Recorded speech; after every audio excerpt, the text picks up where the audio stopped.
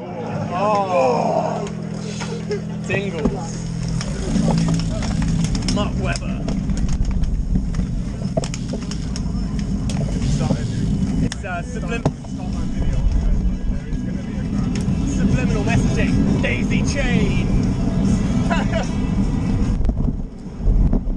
50 k's